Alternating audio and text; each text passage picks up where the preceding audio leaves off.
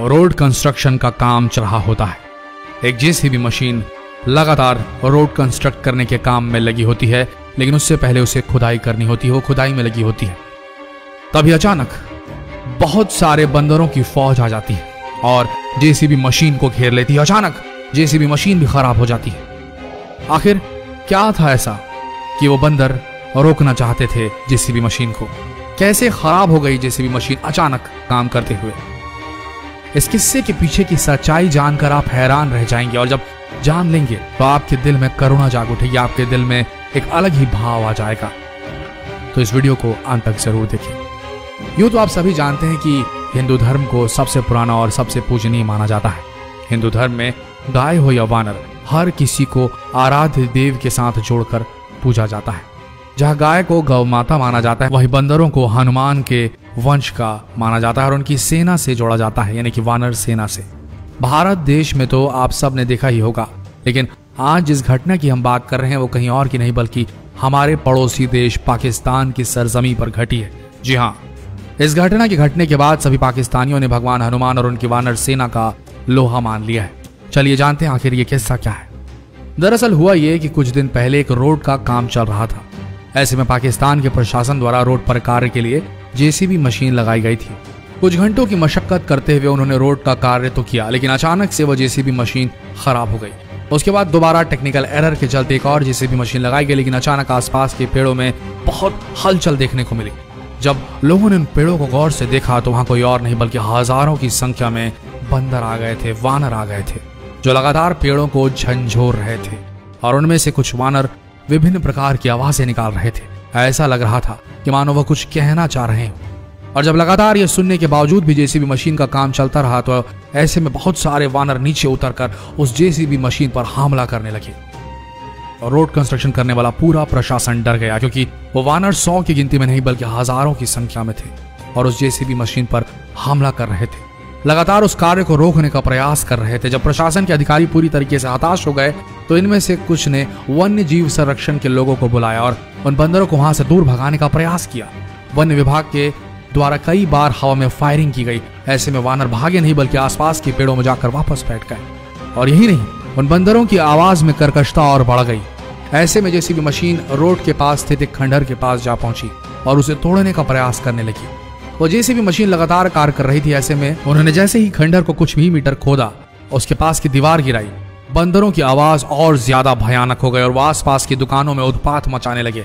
ऐसे में सभी लोग परेशान होने लगे। ऐसे में सिर्फ़ प्रशासन के अधिकारी नहीं, बल्कि वन्य जीव संरक्षण के अधिकारियों के साथ आसपास के गाँव वाले भी बेहद परेशान हो गए। आखिर क्यों इन वानरों द्वारा लगातार ये किया जा रहा था, ये कोई नहीं समझ पा रहा था। जिज्ञासा लगातार बढ़ती जा रही थी, कैसे हरकतें वानर कैसे कर सकते हैं भला और क्या है इसके पीछे का कारण क्योंकि आज से पहले कभी उन्होंने ये सब होते हुए नहीं देखा था। ऐसे में जेसीबी का कार्य लगातार चलता रहा, लेकिन अचानक जेसीबी मशीन में आवाज़ें आने लगी।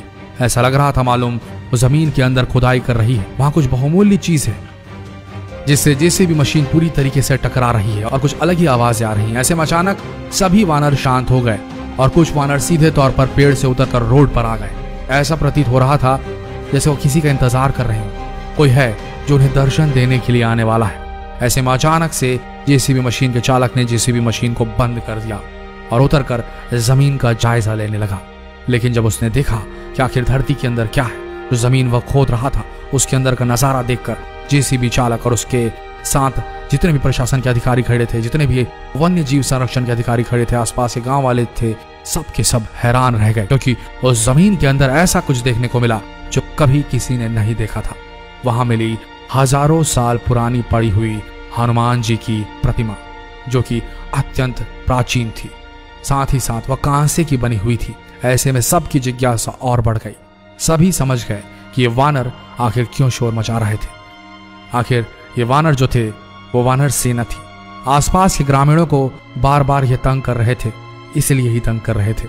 जब प्रशासन के अधिकारियों ने उस मूर्ति को देखा तो वो समझ गए कि पास में ये खंडर जो दिखाई दे रहा है, वो हनुमान जी का मंदिर ही है। जिसे खुदाई की रुकावट बने हुए थे ये वानर, वो कोई और नहीं, बल्कि हनुमान जी का ऐतिहासिक मंदिर था। उसके आसपास जब खुदाई की गई तो कई बहुमूल्य मूर्तियाँ और कलाकृतियाँ सामने आई। विशेषज्ञों का मानना है कि इस खोज से मंदिर के निर्माण काल का पता लगाने में भी मदद मिलेगी। दरअसल ये घटना कराची के पुराने सोल्जर बाज़ार इलाके की है, जहाँ उन्हें श्री पंचमुखी हनुमान के दर्शन करने का अवसर मिला। हनुमान जी की मूर्ति के साथ आठ नौ अलग अलग मूर्तियाँ भी मिली जिसमें जिसमें अलग अलग मूर्तियाँ थी, जैसे कि गणेश जी की मूर्ति, शेर वाली मूर्तियाँ और मिट्टी के बने बर्तन भी थे। लेकिन जो घटना घटी, यानी कि लगातार वानरों द्वारा कई बार आक्रोश प्रकट किया गया और आसपास के लोगों को परेशान किया गया और रोड की खुदाई के दौरान कई बार वानरों द्वारा लोगों को परेशान किया गया, ये दर्शाता है कि वह किसी और का नहीं, बल्कि स्वयं अपने आराध्य देव हनुमान जी का इंतज़ार कर रहे थे। और वह ये नहीं चाहते थे कि कोई भी हनुमान जी की मूर्ति या उनके आसपास पड़ी हुई बहुमूल्य चीज़ों को नष्ट करे। ऐसे में साफ़ दर्शाता है कि हनुमान जी आज भी अजर अमर हैं। साथ ही साथ अपनी वानर सेना का ख्याल भी रखते हैं, जिसके चलते पाकिस्तान के रोड में हो रही खुदाई के दौरान भी ये घटना घटी। अगर आप भी सच्चे हनुमान भक्त हैं तो इस वीडियो को जितना हो सके देश भर में फैलाएँ, शेयर कीजिए व्हाट्सएप पर, फेसबुक पर। और अगर आपको ये वीडियो पसंद आए तो इस पेज को फॉलो करना ना भूलें। मिलते हैं अगले दिलचस्प वीडियो में। तब तक के लिए आप सबका, हमारे साथ इस वीडियो के अंत तक बने रहने के लिए दिल से धन्यवाद।